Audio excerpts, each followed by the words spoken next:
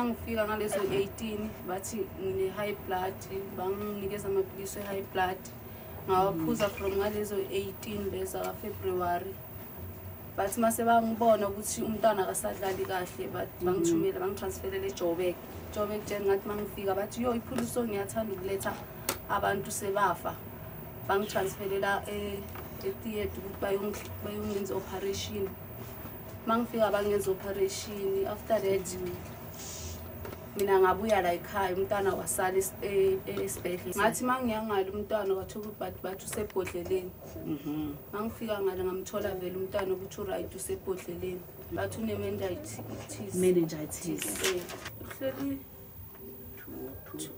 three monthsnabathi eh, mhm. unamanzi intloko fanele bamenze ya eh.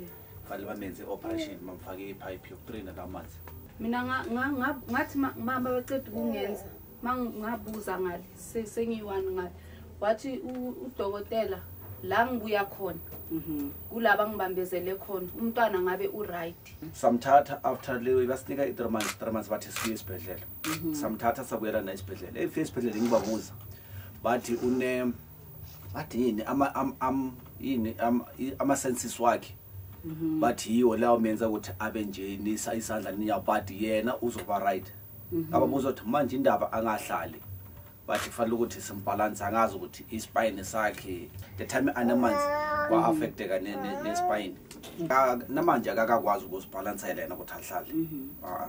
uba yenza ezinye izinto kusho ukuthi singajwayelekanga abona ungathi unisifo sokuwa uqinisa umzimba oh, nini nikubamele 2011 yakudala bengisebenza manje njengoba bengisebenza bengimshiye crash mm-hmm. manje icrash le nto yacumba la yablock oh. wabuyela ejobek ejobek bafika bamhlinza futhi bafaka enye oh so ngasengihlala ekhaya ke ngade eh. manje eh. enye into eyangimangaza ukuthi ngathi mm-hmm. mangibuyela mhm ngiyokhipha ley dish lezi ezami ze-operation mhm.